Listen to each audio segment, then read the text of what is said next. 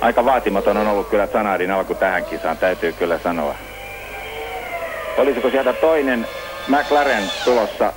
Vain yksi McLaren menee rataa ympäri ja se on Mika Häkkinen. Ai David tulee nyt sisään. David tulee sisään. Onko ongelmia, onko huolia? Voisi- McLarenilla ei olla valmistauduttu millään tavalla ottamaan häntä sisään. Aivan. Huolia, huolia on ja samalla jää Villeneuve radan reunaan. Nyt alkaa jo jyvät karsiutua akanoista.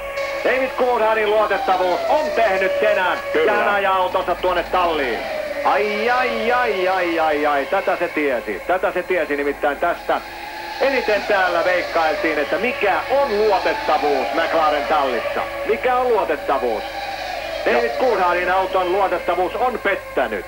David itse sanoi vielä perjantaina, että jos hänen pitäisi joku erityinen paikka autosta osoittaa, joka olisi luotettavuuden kara. Jaha, siellä kaivetaan turva-autokylttiä esille. En tiedä, olisiko niin, että tuo Villeneuvein auto on jäänyt niin vaaralliseen paikkaan, että sen siirtäminen edellyttäisi, edellyttäisi tiedät, tuota Oi, siellä se näkyy.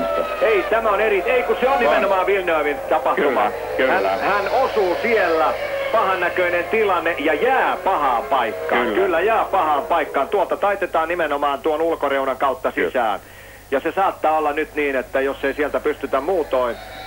Niin oli sanomassa, että tuo Akilen kantapää McLaren-autolla on ilmeisesti vaihdelaatikkoja. Takasiipi, takasiipi irtoaa vauhdista. Kyllä, aika yllättävä vika. Ei sinällään, ei sinällään yllättävää. Ja nyt tulee turva-auto. Kyllä. Nimittäin takasiipi-ongelmat ovat tällä kaudella olleet talvitesteissä puhutuin huolenaihe. Kyllä. Useilla autoilla on nimenomaan tuo takasiipi irro.